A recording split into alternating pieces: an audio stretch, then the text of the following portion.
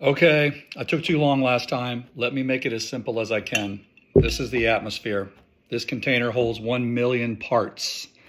Of those 1 million parts, 780,000 of those parts are nitrogen. This is the amount of nitrogen in the atmosphere. That's a lot of nitrogen. Next, around 21% is oxygen. So again, we all like oxygen. Oxygen kind of keeps us alive. We breathe it. So there's all the oxygen in the atmosphere. Let's pat that down.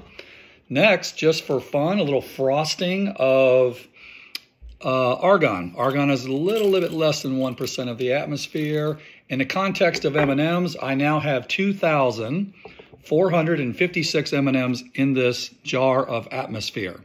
That leaves us one M&M of carbon dioxide. Carbon dioxide consists of 420 parts per million in the atmosphere out of the million nine hundred and ninety six thousand seven hundred whatever remaining. This is how much carbon dioxide we have in the atmosphere. Of that carbon dioxide, man is only responsible for the last 150 years of creating about one third of that carbon dioxide. The rest has always been there. In fact, there's been more of it in the past.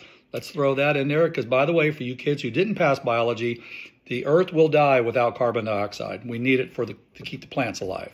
Now, the next thing I want to show you is the United States is only responsible for 13% of carbon dioxide emissions on an annual basis. So I would take this one third of an M&M and I would cut it down again. I can't even cut it that small, Well, let's try to get a little piece. There we go. This little speck of M&M, this little bit of M&M is what the United States is responsible for as far as carbon emissions are concerned. Why does anybody think that reducing this little speck of carbon dioxide is going to affect the climate? I'm waiting for an answer.